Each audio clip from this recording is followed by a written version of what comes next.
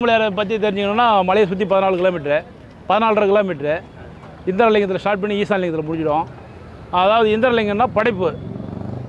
படைப்புன்னா உலகத்தை படைச்சவரும் அவர் தான் உண்ணி எண்ணெய் படைச்சவரும் அவர் தான் இந்திரனா பிறந்து அக்னியாக வளர்ந்து யமுனா மாறி நீதி தேவதையாகி வருண பகவானாக போயிஞ்சு வாயுவிலிங்கமாக மாறி குபேரனா வாழ்ந்து ஈசானத்தில் முடிக்கிறார். எட்டு திசையில் எட்டு லிங்கமாக உட்காந்துட்டார் இந்திரனா குழந்தை.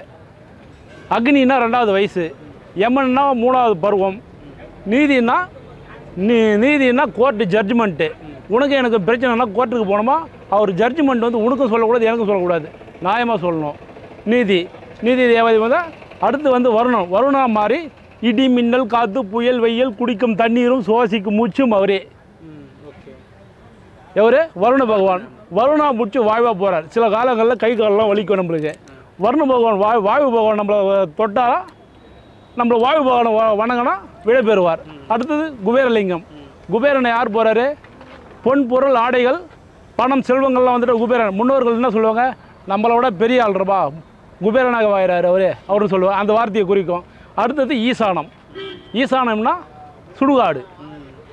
படைப்பம் இவரே அழிப்பம் அவரே.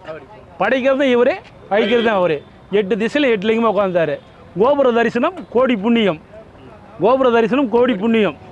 கோடி புண்ணியம்னா நீ எத்தனை பாவங்கள் செய்தாலும் திருவண்ணாமலை பதிமூணு வாசப்படி கோபுரத்தை பார்த்து சிவனே அவனே எவனேன்னு சொன்னால் அத்தனை பாவங்களும் புண்ணியமாக மாறிடும். அதுதான் இது அக்னிதலம் அக்னி